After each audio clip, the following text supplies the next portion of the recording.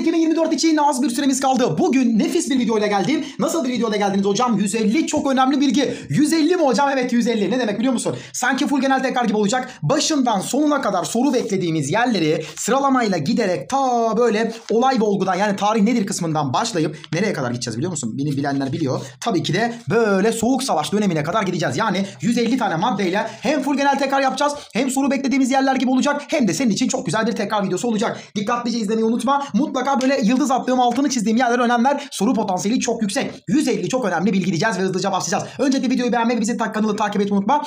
E, bizim büyümemiz senin elinde bunu unutma. Haydi bakalım 150 çok önemli bilgi. Müfredatın başından sonuna kadar gideceğiz. Olayla başlıyorum. Olay ve olgu çok karıştırılıyor. Bir yorum sorusu gelebilir. Olayın bir kere olduğunu unutma. Başka asla tekrarlanamaz. Olgu da olayın sonunda oluşan değişimler gibi düşün. Zamanla oluşan değişim. Yani Anadolu'nun yavaş yavaş Türkleşmesi gibi. Bu bak zamanla oluşan değişim. İşte bu olgudur. Olayda bir kere Malazgirt Savaşı bir olaydır. Unutma. Şimdi e, tarih biliminin yöntemlerine bakalım. Tarama dediğimiz zaman bizim aklımıza ne gelecekti? Kaynak arama unutma. Tasnifi kelime anlamı sınıflandırma. Tahlil çözümleme. Hastane gelsin aklına çözümlüyor. Kanını çözümlüyor. Tenkit T'lerden kopyala. 4 sene önce soru geldi. Eleştiri. Olumlu olumsuz eleştiri gelsin aklına. Yani bilgiler araştırılan yöntemler güvenilir mi değil mi? Eleştireceksin. Olumlu veya olumsuz. Terkip, sentez yani son aşama. İki maddeyi bitirdik bile. Hem genel tekrarımızı yapmış gibi oldu. Geçtik üçüncü maddeye. Türklerin kullandığı takvimlerden özellikle hicri takvimi başa yazdım. Çünkü tek ay yılı esas takvimdir Türklerin kullandığı takvimlerde. Diğerleri güneştir ama hicri takvim ay yıldır. Ayrıntı olduğu için sorulabilir. Lütfen bilelim. Celali takvim Büyük Selçuklu Devleti e, hükümdarı Melikşah tarafından hazırlatılıyor. Rumi takvim sorusu gelirse Osmanlı mali işler demeden Rumi takvimi sormaz. Dörde geçtim. E, arkeoloji 12 hayvanlı Türk takvimi var ama çok ayırt edici bir özelliği olmadığı için almadım. Çok ayırt edici özellikleri almıyorum. Hepiniz biliyorsunuz zaten. Arkeolojinin kazı, numizmatiğin para, paleografyanın yazı bilimi, epigrafyanın kitabe, heraldikin arma, antropolojinin de ırk bilimi olduğunu bilelim. Bunun yanında tabii coğrafya, e, kimya gibi yöntemler de var. Bunların hep ayrıntılarını şuradan oynatma listesinden veya full genel tekrarla da yapabileceğini lütfen unutma. E, geçtik 5. maddeye paleolitik dönem. Eski yontma dönemi gelecek aklına. Karayın ve Yarımburgaz'ı mutlaka bileceksin. Neolitikle ilgili Çatalhöyük'ü mutlaka bil. E, paleolitik ve Neolitik dönemi bilmemiz yeterli olur insanların ilk dönemlerinde. Geldik 6. maddeye. Patesi Ensi kralları vardı biliyorsun. Site adında şehir devletleri, Zikkurat adında tapınakları ve ay yılı esaslı takvimi kim buldu? Sümerlerle ilgili direktman çok önemli bilgiler bilginiz olsun.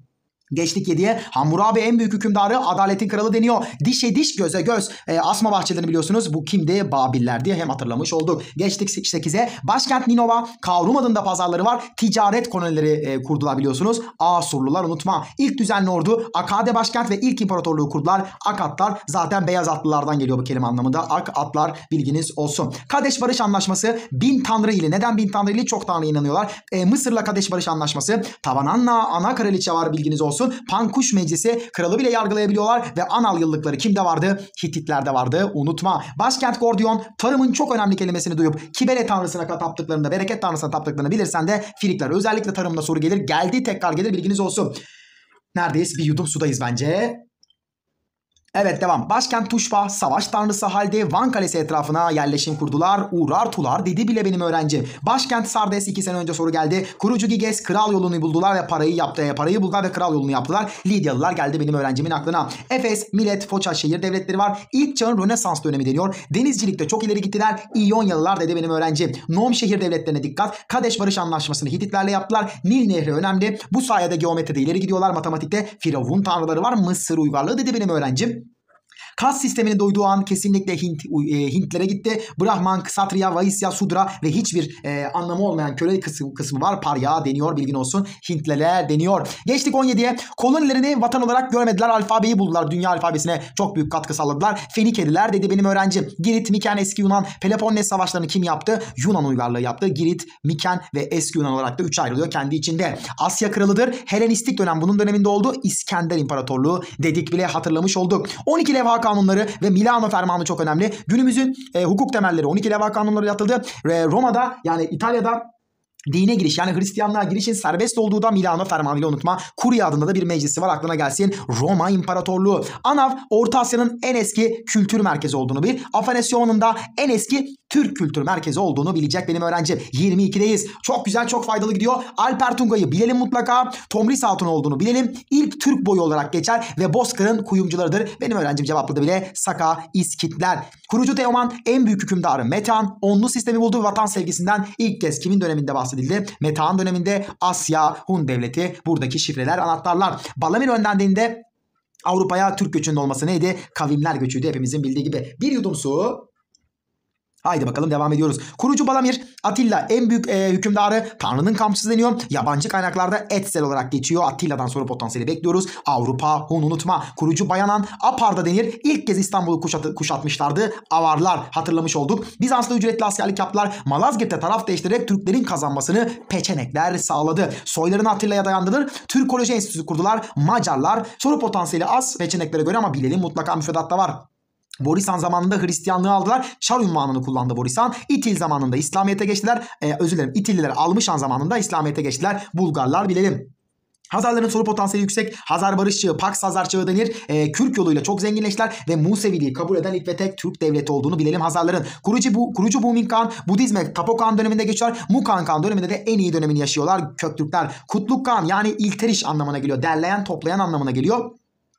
Vezir Tonyukuk bu dönemde kendisine Apatarkan ve Bismarck deniyor. Kutluklar arkadaşlar bilginiz olsun. Kutluk Bilge Kürkan kurucu e, Bögü Khan zamanında Maniheizm'e geçiyorlar. Yerleşik yaşamda hepimizin bildiği gibi Uygurlar. Cengiz Han'a ithaf eden ilk Türk devleti kim? Kırgızlar. İslamiyet'i kabul eden ilk Türk boyu kim? Karluklar. Yani şu 35 maddede kesinlikle TYT'de bir yorum sorusu, sosyal bilimler ve sosyal bilimler de bir bilgi sorusu gelecek. Kaçarı yok. Geçiyorum 36'ya. Hem full genel tekrar gibi oluyor hem hatırlamış oluyoruz hem belki de benden önce bile cevap vermiş oluyorsun olsun. Bir yudum su.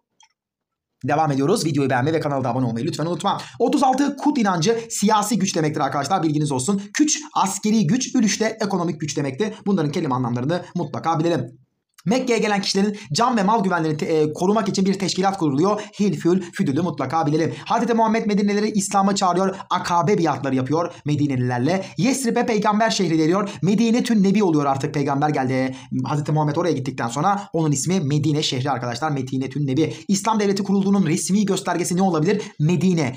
Medine sözleşmesi olabilir arkadaşlar. İslam devletinin resmi olarak kurulduğunu gösterir. Bedir, Uhud, Hendek, Hazreti Muhammed'in savaşları olduğunu biliyoruz. Mekkelilerin Müslümanlara barış teklifini nerede yapıyor? Hudeybiye barışı mutlaka bileceğiz. Medine Şam ticaret yolunun güvence altına alındığı Hayber'in fethi var. Müslümanlar ile Bizansların ilk savaşıdır. Halid bin Velid'e Seyfullah ünvanı veriliyor. Mute seferi mutlaka bileceğiz. Hazreti Muhammed'in son seferi Tebük. Hazreti Muhammed'le veda hutbesiyle okuduktan sonra da yaşamını artık gözlerini yummuş oluyor. Kur'an-ı Kerim'i kitap haline getiren Hazreti Ebu Bekir tekrarlayalım. Kur'an-ı Kerim kitap haline getiriyor. Teşkilatlanma, Beytül Mal özellikle hazinesi e, dönemi önemli şehirlerinde alındığını yani bu dönemde önemli şehirlerin alındığını bilelim. Teşkilatlanma kelimesi önemli. Hazreti Ömer dedi bile benim öğrencim. Şura kurulunda seçildi. Kur'an-ı Kerim'i çoğalttı. Hazreti Osman. Cemel vakası bu dönemde e, Hazreti Ayşe ile beraber deve üzerinde. Hakem heyeti de onun döneminde oluyor. Hazreti Ali bir harici tarafından da öldürülüyor biliyorsunuz zaten. Muaviye'yi bilelim mutlaka. E, Eyüp El Ensari'nin kim olduğunu bilelim. İstanbul'u kuşattığı dönemde e, Emeviler Eyüp El Ensari orada şehit ediliyor. Yani şu andaki Eyüp Sultan Turbesi'nin e, sahibi arka yani kişisi Eyüp El Ensari. Yezid'i yani oğlunu saltanatlığı getiriyor. Muaviyeler Muaviye oğlu Yezid'i e, halife ilan ediyor. Saltanatlıkta Emevileri başlatmış oluyor. Kerbela olayı da Emeviler döneminde bilelim mutlaka. İslam'ı İspanya'ya yaydılar. Elhamra Sarayı çok önemli. Beni Ahmer devletinde. Çinlilerle Talas Savaşı'nda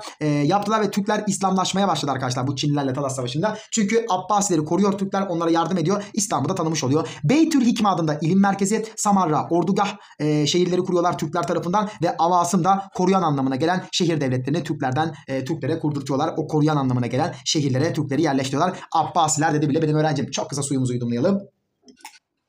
Evet devam ediyoruz. Semerkant'a şehirlerin şahı deniyor. İslam'ın Roma'sı, Buhara, e, Düzeltiyorum hemen bir saniye. E, şimdi Semerkant'a şehirlerin şahı, İslam'ın Roma'sı Buhara, Kaşgara'da ışıldayan inci denildiğini mutlaka bilecek benim öğrencim. Külbilge Kadiran kurucu Satık Burhan zamanında İslamiyet'i kabul ediyor. Ribat adında kervansaraylar yaptığını bilelim. Karahanlılara dikkat diyorum. Kurucu özellikle İslamiyet'i kabul eden özellikle. Geçtik 52'ye Gazneli Mahmut mutlaka bileceğiz. Sultan ünvanını dünyada ilk kez kullanıyor. Hint seferlerinde Müslümanlığı yaymak için e, yapıyor. Gazneliler döneminde. Nesa, Sara, Seras ve Dandanakan Büyük Selçuklu Devleti'nin kuruluş savaşları olduğunu unutma. Geçen sene soru olarak geldi bilginiz olsun. Tuğrul Bey'e Doğu ve Batı'nın hükümdarı deniyor. Ani'yi fethetti e, du, şöyle Doğu ve Batı'nın hükümdarı Tuğrul Bey deniyor. Ani'yi fethetti ve Ebul Feth, e, Ebul Feth ünvanını aldı. Malazgirt zaferinde yapan kimdi? Sultan Alparslan unutma. İslam ülkelerinin sultanı deniyor halife tarafından kendisine. Mısır'da kurulan ilk Türk İslam devletidir. Maristan hastaneleri olduğunu Tolunoğullarında bildik bile. Hicaz'a sahip oldular. Muhammed bin Togaç e, kurucu.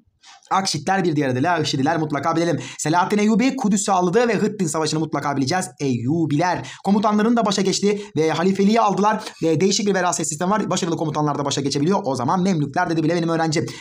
Anadolu'da kurulan ilk Türk devletlerine bir bakalım. İlk Türk beylikleri de deniyor bazı yerlerde. O kargaşaya girmenize gerek yok. ÖSYM sorarsa zaten böyle soracak bilginiz olsun. Danişmentlerin Sivas Tokat çevresinde, Saltukların Erzurum çevresinde, Mengüceklerin Divri Erzincan çevresinde, Artukların Mardin çevresinde, Çaka'nın e, Çaka Beyliği'nde denizcilikte ileri gittiğini ve donanma gününün hala kutlandığını kuruluş olarak bileceğiz. Anadolu'da kurulan ilk Türk beylikleri devletlerinde. Kur'an-ı Kerim'i Türkçe'ye çevirdiler. Uzun Hasan çok önemlidir. Ak koyunlar dedi bile benim öğrencim. Kendilerini Büyük Selçuklu Devleti'nin devamı olarak kim gördü? Harzem Şahlar unutmayın arkadaşlar.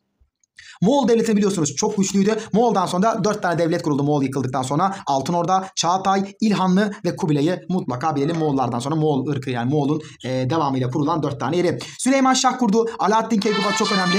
E, liman şehirlerini liman şehirlerini aldılar. Baba İshak İhsan'ı çok önemli. Köse dahil İlan, e, İlanlara yenilip yıkılan da Anadolu Selçuklu devleti arkadaşlar bilgimiz olsun. Padişah yazılı beyan verir. Buna hattı hümayun denir. Bir memurun mallarına el koyabilir. Müsaade sistemi denir. Memur atar ve görevden atar. Beratname bunları mutlaka bilelim Osmanlı kültür medeniyette. Sadrazam e, Serdar Ekrem ünvanıyla padişahın yerine başta yani e, ordunun başında çıkabilir e, sefere.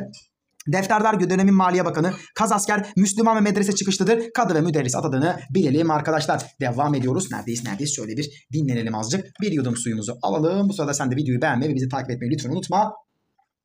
Evet 150 çok önemli bilgi. Nişancıdayız. Tapu ve kadastrocular ka- tahrir defterine yazar hepsini. Reis kitabında dışişleri olduğunu bilelim. 60 e, 66. maddeye kadar geldik. Haydi bakalım. İlk Osmanlı Bizans Savaşı Koyunhisar. İlk vergi ve parayı kim aldı? Bak ilk Osmanlı Bizans Savaşı'nı yaptı. İlk vergi ve parayı da Osman Bey e, döneminde olduğunu bilelim. Peki Orhan Bey döneminde hocam Kalesioğulları'nı aldı. Palekanon Savaşı Bursa'yı alan kim? Orhan Bey. Çimpe Kalesi çok önemli. Teşkilatlanma dönemi aman dikkat. Saray, medrese, ordu, divan hep Orhan Bey döneminde açıldığını bileceksin. Osman Bey kurucu gibi ancak Orhan Bey'de de teşkilatlanma başlıyor. Artık e, beylikten devlete geçiliyor. 68 Sazlıdere Savaşı ile Edirne'yi kim fethetti? 1. Murat. İlk Osmanlı açtı Sırp sındığı kazandı. Edirne'yi başkent yaptı. Kosova Savaşı'nı kazandığını bilelim. E, şehit oluyor biliyorsunuz savaş yerinde. Kapıkulu Ocağı'nı kurdu. Yani bunun içinde Yeniçeri de var bilginiz olsun. Yeniçerileri kurdu 1. Murat. E, 69. madde Türk siyasi bilini geniş ölçüde kim sağladı? E, Anadolu'ya yıldırım düştü diye kodlamıştık. Şuradan e, oynatma listesini mutlaka izlemenizi tavsiye ediyorum. İstanbul'u kuşatan ilk padişahtır. Anadolu Hisarı'nı yaptırdı. Sultanı İklim Rum çok önemli mutlaka bilelim. Ankara Savaşı'nda biliyorsunuz Timur'a yeniliyor.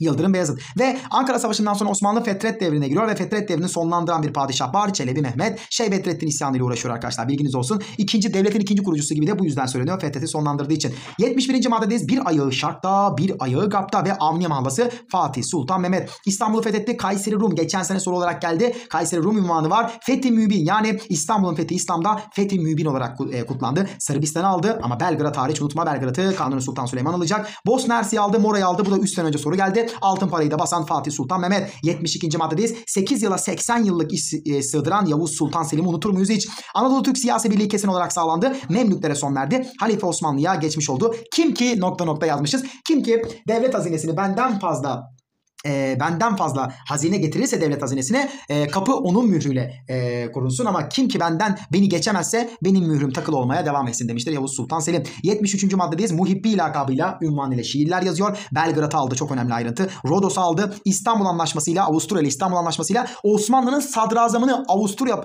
e, Avusturya ile bir tuttu yani. E, çok büyük bir anlaşma Osmanlı için. Prevezi Deniz Savaşı var biliyorsunuz ve Zigetvar'da da Zigetvar Seferi de son seferi oluyor ve vefat ediyor. Kanuni Sultan Süleyman 74'teyiz. İtalya'da başladı bilim sanat e, alanındaki yeniliklerdir. Rönesans arkadaşlar. Şöyle sayfayı düzeltelim. Din adamlarının kiliseye karşı başlatmış olduğu harekette reform hareketleri. Bir nefes, bir su.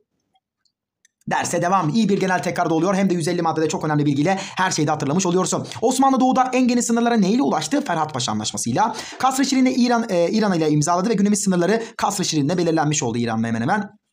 Hotin seferine çıkıyoruz ama Yeniçerilerin isteksizliği yüzünden başarısız oluyoruz. Batı'da da en geniş sınırlara Bucaş Anlaşması'yla ulaştığımızı bilelim. Atalım yıldızları çok önemli. Sosyal bilimler 2'de direkt bilgi olarak gelebilir. Sosyal bilimler 1'de biraz e, bayağı bir ayrıntı olur ama gelirse de şaşırmayız tabii ki. Osmanlı padişahı tekrar Avustralya kralına eş sayıldı. Artık yavaş yavaş duraklama dönemindeyiz. Zitvatorok Anlaşması'yla. Osmanlı ilk kez geniş anlamda toprağı nerede kaybediyor? Karlofça'da. Ekber ve Erşet sistemi biliyorsunuz 1. Ahmet dönemi. Pasarofça Anlaşması Lale Devri'ne giriyoruz. Pasarofça ile beraber ilk kez savaş tazminatı ödediğimiz ve Kırım'ın bağımsız olduğu Küçük Kaynarca unutma. Karlofça ve Küçük Kaynarca çok karıştırılır. Karlofça'da ilk kez geniş anlamda toprak kaybederken Küçük Kaynarca'da ilk kez savaş tazminatı ödediğimizi bilelim. Yaş Anlaşması artık e, Kırım Rusya'nın oluyor. Pasarofça ile patron arasındaki e, döneme Lale Devri diyoruz hepimizin bildiği gibi. E, yaptığı yeniliklere Nizam-ı Cedid deniyor. İrade-i Cedid hazinesi kuran kim? 3. Selim. Osmanlı'da ilk isyan eden Sırplar, ilk imtiyaz alan Sırplar Bükreş Anlaşması'yla ve ilk özerk olan da Sırplar oluyor. Ama dikkat ilk bağımsızlık alanlar Yunanlar olduğunu bil. Boğaz'da ilk defa Hünkar iskelesinde sorun oluyor. İngiltere ile Balta Limanı Anlaşması imzalanıyor. Mısır sorunu için Mehmet Ali Paşa sorunu yani Londra Konferansı toplanıyor. Osmanlı destek için Avrupalı devletlerin desteği için Tanzimat Fermanı'nı ilan ediyor. Direkt soru olarak gelebilir. Paris Paris Barış Konferansı yapılıyor bu dönemde. Islahat Fermanı da Paris Barış Konferansı'nda etkili olmak için ilan ediliyor. Ayas Stefanos Yeşilköy Anlaşması Osmanlı Rusya imzalandı ancak yürürlüğe girmiyor. Mustafa Kemal'in katılmak için okuldan kaçtığı savaş Dömekle Meydan Muharebesi Ayanlar ile 2. Mahmut arasında imzalanan ve ilk defa padişahın yetkilerinin kısıtlandığı yerde senedi ittifak olduğunu şöyle senedi ittifak olduğunu biliyor benim öğrenci. Full genel tekrar gibi oluyor gerçekten. Benim çok hoşuma ve çok yararlı olacağını düşündüğüm bir video. Videoyu beğenmeyi ve abone olmayı da kesinlikle unutma. Neredesiniz hocam? 86. madde. Allah Allah 2. Abdülhamit. Meşrutiyeti ilan ettiğini bilelim. Kanunu Esasiye Anayasasını bilelim. Duyunu Umumiye İdaresini yani genel borçlar yabancı devletler kuruyor. E, Muharrem kararnamesiyle çünkü Osmanlı iflasını açıklamış oluyor. Resmen iflas ediyor. 31 Mart vakası var. 2. Abdülhamit taraftarları 2. Abdülhamit Abdülhamit'i tekrar getirmek istiyorlar başa. Kurmay Yüzbaşı Mustafa Kemal de bu 31 Mart e, vakasında e, Selanik'ten gelen ordunun içerisinde olduğunu bilelim. Tarih sahnesine ilk çıkışı biliyorsunuz. 87 Trablus sonunda Uşa Anlaşması imzalanıyor. Osmanlı'nın elinde Kuzey Afrika'da toprağı kalmıyor ve İtalya iyice güçleniyor Uşa Anlaşması'yla. Karadağ, Yunanistan, Sırbistan, Bulgaristan 1. Balkan'ı 1. Balkan Savaşı yapıyor. Osmanlı'ya karşı saldırıya geçerek bunlar birleşmiş oluyor. Ancak 2. Balkan'da diyor ki Bulgaristan sen çok aldın. Sırp, Karadağ, Yunanistan, Romanya birleşti. Bak Romanya burada yok burada var. Bulgaristan'a karşı 2. Balkan e, savaşıyor. Osmanlı da 1. Balkan'da çok özür dilerim. Osmanlı da 1. Balkan'da Doğu Trakya'yı alıyor. Bu 1. E, Balkan'da kaybettiği Doğu Trakya'yı 2. Balkan Savaşı'nda bu karışıklıktan yararlanarak alıyor. Rauf Orba'ya Edirne Fatih deniyor. E, 1. Dünya Savaşı özellikle sanayi ve ham madde için başladığın en büyük nedenin olduğunu unutma. Amerika savaşın e, süresini kısaltan, Osmanlı'da özellikle Çanakkale cephesiyle savaşı uzatandır. İtalya'da taraf değiştiren kısımdır. E, bunları mutlaka bilelim arkadaşlar. Taarruz cepheleri Kafkasya Kanal, savunma cepheleri Çanakkale, Irak, Suriye olduğunu bilelim. Rusya savaştan hangi anlaşmayla çekiyor? Brest-Litovski anlaşmasıyla. Mustafa Kemal Çanakkale'de Anafartalar Karamanlı ünvanı ve albaylık rütbesine yükseliyor. Kutulyamarya kahramanı Halil Paşa oldu. Fahrettin Paşa'ya Plevne kahramanı Çöl Aslanı deniyor. Gizli anlaşmaları dünyaya Sovyet Rusya duyuruyor. İstanbul Anlaşması'yla e, Boğazlar Rusya'ya veriliyor gizli anlaşmayla. Londra Anlaşması'yla İtalya bu sayede taraf değiştiriyor. İttifaktan ittilafa geçiyor. Sykes-Picot'ta Orta Doğu paylaşılıyor. İngiltere e, en büyük sebebi. Macmeon'da Şerif Hüseyin ve İngiltere arasında gerçekleşiyor. Saint Jean de Marone'de İzmir İtalya'ya veriliyor. Daha sonra Yunanlara verilince de İtalya bu duruma isyan edecek tabii ki de. Wilson ilkeleri hepimizin hatırladığı gibi galip devletler savaş tazminatı almayacak. Gizli anlaşma yok. En önemli maddeleri. Osmanlı'nın artık fiilen sonlandığı, fiilen kelimesini görürsen Mondros Ateşkes Anlaşması gelecek aklına. Mustafa Kemal 7. maddeye beyni bey, e, beyni yakan ateşten zehir diyor. 7. maddeyi hatırlayalım. İtiraz devletleri güvenliklerini tehdit edecek bir yeri işgal edebilir. Vilayeti Sitte'yi mutlaka, mutlaka bilelim. Bu da e, 24. madde arkadaşlar. E, vilayeti Sitte yani Doğu Anadolu bölgesindeki yerleri e, bir karışıklıkta itiraz devletleri alabilecek arkadaşlar aklınızda bulunsun. E, Besvet diye de bu şeyleri kodladığımızı her yerde söylemiştim. Barış'a son veren Barış Anlaşması Paris Barış Anlaşması. İtiraf devletleri ilk kez görüş ayrılığına nerede gidiyorlar? Paris Barış Anlaşması'nda. İşgalin haksız olduğunu gösteren rapor Amiral Bristol raporu. İzmir Müdafaa Hukuk, Reddi İlak, Şark vilayetleri, Trakya Paşaeli, Kilikyalılar ve Gizli Karakol, yararlı cemiyetler, Etnik Eterya, Mavrimira, Rum, Potnus, Hıç, Hıç, Hınçak ve Taşnak, Hürriyet ve İttifak, İtilaf ve Kürt Teali zararlı cemiyetleri olduğunu bilelim. Mustafa Kemal'in tek başına yayınladığı, haklıyken haksız duruma düşmeyelim dediği, İzmir işgalinin özellikle protesto edilmesi gerektiğini ve silahların teslim edilmemesi gerektiğini ve amacın en önemli amacın milli bilinci uyandırmak olduğunu Havza genelgesiyle kodlayabiliriz. Amasya Genelgesi'nde amaç milli mücadeleyi artık kişisellikten çıkarmak kelimesini duyarsan Amasya gelecek aklına bir ihtilal beyannamesidir. Bir izninizle kısa bir su. Artık İstanbul bize bağlı olmalı diyor Mustafa Kemal. Her maddesinde bir sesleniş yani halka bir şey anlatmak olduğunu unutmayın arkadaşlar Amasya Genelgesi'nde. Erzurum Kongresi Mustafa Kemal askerlik görevinden istifa ediyor. Her maddesinde masaya yumruğu vurmak var Erzurum Kongresi'nde. Yeni bir hükümet kurulmalıdır yumruğu vur. Yani o sözde bir şey varsa yumruğu masaya vurmak vardır unutma. Sivas Kongresi'nde Anadolu Rumeli Müdafaa Hukuk Cemiyeti olarak tüm cemiyetlerin birleştirildiğini biliyorsun. Manda ve himayenin de e, kesin olarak reddedildiğini biliyorsun. Geçtik öbür sayfaya. Şöyle bir nefes aldım. Amasya görüşmeleri. İstanbul hükümeti artık resmi olarak temsil heyetini tanıdığını Amasya görüşmeleriyle bileceksin. Misak-ı milli uluslar, ulusal sınırlar içinde vatan bir bütündür, bölünemez olduğunu, ilkenin bu olduğunu unutma. Birinci Türkiye Büyük Millet Meclisi kurucu meclistir, savaşçıdır, tek inkılap yaptı bu da saltanatın kaldırılması unutma. Ayaklanmalara karşı istiklal mahkemeleri, hıyaneti vataniye kanunu e, çıkarıldığını unutmayın birinci meclise karşı ayaklanmalara. Ölü doğan anlaşmadır, hukuken geçersiz sayıldı çünkü temsil heyeti tanımadı. Sevr anlaşması, e, tüm maddeleri iltifat, iltifat, iltifat, itilaf devletlerin lehine olduğunu bilelim. Doğu cephesi Kazım Karabekir'e Şark Fatih deniyor. Gümrü Anlaşması Türkiye Büyük Meclisi'nin imzaladığı ilk anlaşma olduğunu mutlaka bil. Türkiye ifadesi ilk defa geçti. Moskova, Kars, Gümrü'de Doğu cephesinde imzalanan anlaşmalar. Güney cephesi Pozantı Kongresi'ne Mustafa Kemal de katıldı. Kuvayi Milliye burada savaştığını bir Güney cephesinde. Batı cephesi 1. İnönü Savaşı düzenli ordunun ilk zaferidir 1. İnönü Savaşı. Londra Konferansı toplanıldı. 1. İnönü Savaşı'nın sonuçlarında Sovyet ile Moskova Anlaşması imzalandı. Londra Konferansı hem meclis ve hem Osmanlı katıldı. Biliyorsunuz Londra Konferansı'nda ikililik yaratmak için böyle bir şeye gittiler. Sözü Türkiye Büyük Meclisi aldı. Osmanlı sözü Türkiye Büyük Millet Meclisi'ne bıraktı. Moskova Anlaşması meclis ile TBM ile Sovyet Rusya arasında olduğunu bil. Batum Gürcistan'a verildi. Misak-ı ilk kez taviz verildi ama büyük bir devlet yanımıza aldığımızda lütfen unutmayın Türkiye Büyük, Millet, Türkiye Büyük Millet Meclisi'ne ilk defa büyük bir devlet tanımış olduğu e, Moskova Anlaşması'yla. İkinci İnönü, ikinci İnönü'nün en önemli olaylarından biri biz kazanıyoruz. Mustafa Kemal de İsmet İnönü'ye siz orada sadece düşmanı değil e, bu devletin makus tarihinde yendiniz demiş işte biliyorsunuz bu sözü seviyor ÖSYM aman dikkat. Eskişehir ve Kütahya muharebelerinde başarısız olduk. E, bu sayede başkomutanlık yasasını çıkarıyor meclisten. Çünkü yetkiyi Atatürk'e veriyorlar. Tekalifi milli emirlerini çıkartıyor Mustafa Kemal'de. E, halktan yardım al- alınması gibi bilginiz olsun konuyla ilgili. Sakarya Meydan Muharebesi Subaylar Savaşı denir. Mustafa Kemal bu, bu savaşta hattı müdafaa yoktur. Sattı müdafaa vardır. O satıtta bütün vatandır demiştir. Bilginiz olsun. Mustafa Kemal'e gazilik ve maraşerlik ünvanı verildi. Fransa ile Ankara Anlaşması Sakarya Meydan Muharebesi'nden sonra yapıldı. Kars, e, Kars Anlaşması ile Doğu, Doğu artık Doğu sınırımız çizilmiş olacak Sakarya Meydan Muharebesi'nden sonra. Başkomutanlık Meydan Muharebesi yurt kurtaran savaşta denir. Mustafa Kemal yarım hazırlıkla taarruz istemediği için önce hazırlıklar yapıldı. Batı Anadolu sonunda Yunanlılardan artık temizlendi. Ordular ilk hedefiniz Akdeniz ileri, Akdeniz'dir ileri demiştir Mustafa Kemal. Mudanya Ateşkes Anlaşması'na İsmet İnönü gönderiliyor. Buradaki başarısından dolayı Lozan'a daha sonra gönderilecek. Refet Bele Trakya Yüksek Komiseri Boğazlar ve İstanbul Türkiye Büyük Meclisi'ne Mudanya Ateşkes Anlaşması ile bırakılıyor. Osmanlı Mondros ve Sevr ile fiilen Mudanya ile artık hukuken ve saltanatın kaldırılmasıyla resmen sona eriyor. At Yıldız önemli. Lozan Barış Anlaşması'nı imzalayan ikinci Türkiye Büyük Millet Meclisi'dir. Unutma bunu. İsmet İnönü temsilci. Sınırlar çiziliyor, kapitülasyonlar kaldırılıyor. Boğazlarda komisyon kuruluyor ve Türk artık başkan da Türk oluyor. E, Mustafa Kemal önce mahalle mektebine daha sonra Şemsi Efendi e, okuluna, Mülkiye Rüştiyesi'ne, Selanik Askeri Rüştiyesi'ne, Manastır, Manastır Askeri İdadesi'ne, Harp Okulu'na ve Harp Akademisi'ne gidiyor. Bilginiz olsun. Mustafa Kemal Şam'da Vatan ve Hürriyet Cemiyeti kuruyor. Sofya Ateşesi 1. Dünya Savaşı öncesi son görevi. Çanakkale'de albay olduğunu unutma. Adana'da Yıldırım Orduları Komutanı oldu. 9. Ordu Müfettişi olarak da Samsun'a çıkıyor. Nutuk gelirse e, 1919 ve 1927 olaylarını anlatıyor. Samsun açıklarında başlayıp gençliğe hitabeyle son buluyor. Atatürk dönemi iç politikada CHP kuruldu. Terakkiperver Cumhuriyet Fırkası kuruldu. İlk muhalefet e, partisi. Cumhuriyet Fırkası terakkiperver. Şeyh Said ayaklanması oldu. İstiklal mahkemeleri kuruluyor. Rejime karşı ilk isyan Şeyh Said ayaklanması. İzmir suikastı oluyor. Bozkurt Lotus olayı ve Menemen olayı iç politikada önemli olaylar. Nereye geçtiniz hocam? 127. maddeye geçtik. Videoyu beğenmeyi bizi takip etmeyi kesinlikle unutma. Özellikle tercih döneminde çok aktif olduğumuzu biliyorsunuz. Cumhuriyetçilik e, eğer Atatürk ilkelerinden soru gelirse millet, irade, oy, ulusal egemenlik, seçim gibi kelimeleri verir Cumhuriyetçilikte. Laikliğin anahtarları akıl, bilim, din, vicdan özgürlüğü, tutuculuğa karşı olmaktır. Halkçılık Eşitlik, adalet, refah, huzur, halk için kelimesi halkçılıkta var. Milliyetçilik, bağımsızlık, biz, birlik, dil birliği ve kültür önemlidir. Devletçilik, milli kalkınma, planlama, yatırım, sermaye, anahtar kelimeleri. İnkılapçılık, değişim, ilerleme, geride kalmama, çağdaşlaşma. Siyasi inkılaplara bakalım. Saltanatın kaldırılması siyasettir, siyasettir. Cumhuriyetin ilanı siyasi bir olaydır. Ankara'nın başkent olması siyasi bir olaydır. Cumhuriyetin ilanı ve halifeliğin kaldırılması. Hukuk inkılaplarına bakalım. 1924 Anayasası ve Türk Medeni Kanunu'nu mutlaka bilelim hukukta.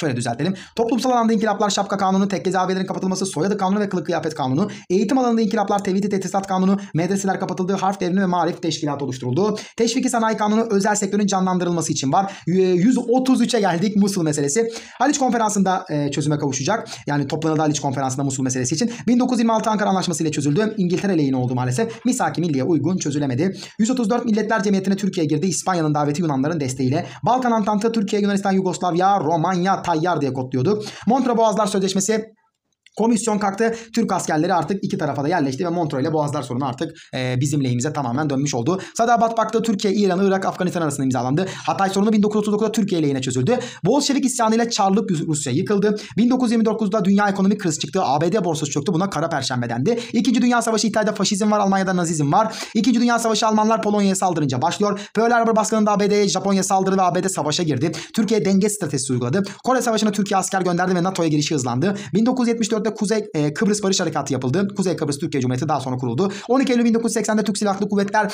Kenan Evren liderliğinde darbe yaptı. Türk, e, Türk Cumhuriyetleri bağımsız oldu. Azerbaycan gibi devletler bağımsız oldu. Altay Tankı, Hürkuş, Anka, Göktürk Uydusu, TürkSat ve Siyah önemli projeler. Oktay Sinanoğlu, Aziz, Aziz Sancar Nobel ödülü aldı. Fuat Sezgin ve Gazi Yaşargil'i de mutlaka bilelim Soğuk Savaş döneminde. Çok güzel bir video oldu. Videoyu beğenmeyi, takip etmeyi unutma. 150 önemli maddeyle tarihi tekrarlamış olduk. Kolaylıklar, başarılar.